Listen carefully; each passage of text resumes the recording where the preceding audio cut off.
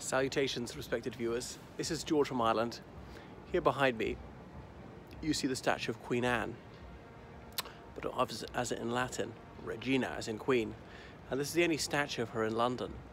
So she reigned from 1701 to uh, 1714, and uh, she was, well, the daughter of King Charles II, the uh, elder daughter of King Charles II uh, what am I talking about? Sorry, James II, Charles II's her uncle. So uh, she's part of the Stuart uh, dynasty, and um, uh, she was brought up uh, in the Anglican faith. However, her father later converted to the Roman Catholic Church, which was to be crucial. Um, she was, sorry, she, what am I saying? She's the younger daughter of James II, so Mary was her elder sister. And um, anyway, uh, Anne, she married Prince George of Denmark, and she lived here in the United Kingdom, mostly in Kensington Palace. But um, in November 1688, on the 5th of that month to be precise, uh, her brother-in-law, William, the stadtholder of the Netherlands, landed at Torbay, having come over from the Netherlands. And so William of Orange, as he was also known, was married to Anne's elder sister Mary. So William and Mary overthrew Anne and Mary's father. James II. There was uh, one brief battle um, at Newbury, and that was that. Most of uh, James II's army went over to the other side because um, uh, James II had one, uh, sorry, had these two daughters uh, with his uh, first wife, Anne Hyde, the daughter of um, Edward Hyde, the Earl of Clarendon. She died. Then James II married again, Mary of Modena, the daughter of an Italian duke, Roman Catholic of course, and uh, that summer of 1688, Mary of Modena had been delivered of a bonny baby boy. So James II was a Catholic ruling a mostly Protestant people. Could this situation last? Well, some people found it intolerable.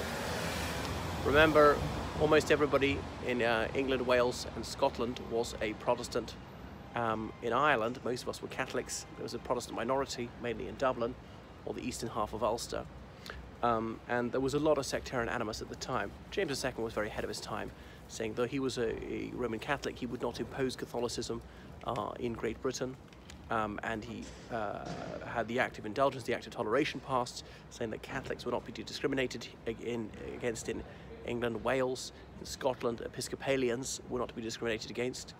Episcopalian Church is the uh, theological bedfellow of the, the Anglican Church, but in Scotland because in Scotland the, the established church was the Church of Scotland, as it was Presbyterian, it had no bishops, it's more strongly Protestant than the Church of England. Anyway, some people suspected that James II was uh, simply lying, and that's politics, and as soon as, as he could, he would bring back Catholicism and force it on people. And in fact, they were right. There was the secret Treaty of Dover, where Louis XIV, this King of France, Roman Catholic of course, had uh, promised um, James II money, because Parliament wasn't voting him money, Parliament controlled tax, uh, and that James II was to bring back Catholicism as the state religion as soon as the security of his crown allowed. Uh, but anyway, there was the Immortal Seven, seven leading politicians or bishops uh, sent uh, a letter. Ooh, I can see Ed Argar, the Conservative MP over there, a real Tory boy. Um, anyway, this, the Immortal Seven, they sent a letter, the invitation to William uh, in that summer of 1688, saying he must come and uh, investigate the circumstances of the birth of this infant as in James II's son. Was he really James II's son? Was the child superstitious, smuggled in in a warming pan? It was a changeling, so they said.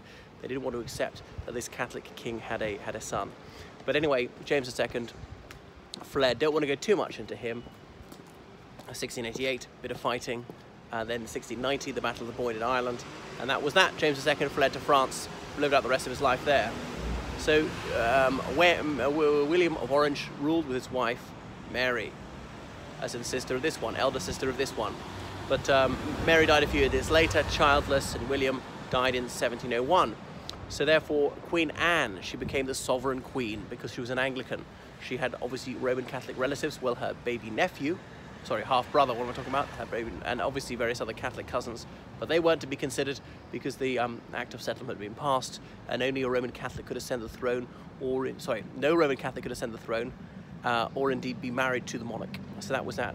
So uh, she went through 17 pregnancies, had lots of miscarriages, stillbirths, and gave birth to several live babies, but none of them lived beyond the age of 10.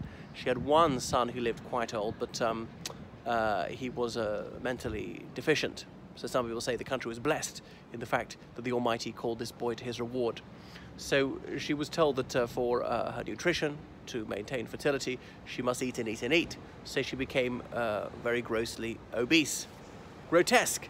But uh, her, her husband, Prince George of Denmark, nevertheless did his duty. And Denmark Hill in South London is named after him. And um, it's Jeremiah Clarke, the organist of St Paul's, composed the Prince of Denmark, Denmark's march, that trumpet voluntary.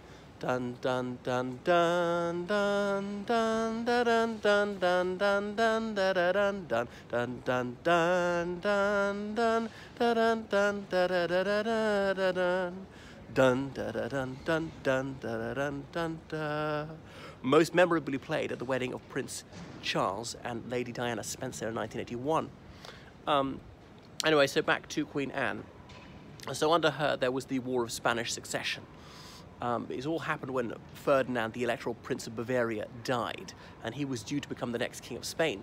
But with him out of the way, who was going to be the next King of Spain? Well, it was someone who was due to be King of Spain and King of France. Now, the United Kingdom, well, founded only in 1707, this is before the United Kingdom existed, just. England, Scotland, and indeed Ireland, we couldn't possibly tolerate France and Spain being united under the same man, so there's a war to prevent that happening. Obviously unacceptable. Who's King of France and Spain is up to them this country doesn't get to decide. So there was that war, and there were many anti-French allies because France was the mightiest country in Europe at the time, and English policy, later we said British policy, was to oppose the most puissant state in Europe to prevent it becoming overmighty. Obviously, in time, the United Kingdom became the power, most powerful state in Western Europe, so it's perhaps a bit hypocritical. And so various minor German states, the Netherlands, Sweden, and so on, were leagued together in this war against France um, and indeed Spain ultimately successful. So that was that. So there was some peace and tranquility after the upheaval of the Williamite Wars. Uh, and then she died in 1714. That is Queen Anne. Um, Queen Anne architecture. And this is Queen Anne's Gate, because this street, it really um, is a fabulous example of, of the architecture of her era. Now, you can see the bees on her dress denoting industry. And you can see she's holding that orb to represent in one hand, the hand nearer me, to represent all the people with the cross at the top. She's holding a scepter over here, as in of regal power, or should I say regnal power in her case. You see how her hair is done. So that is Queen Anne.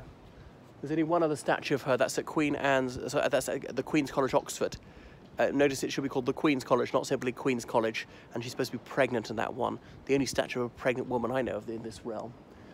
Anyway, that is Queen Anne a monarch who ought to be better known.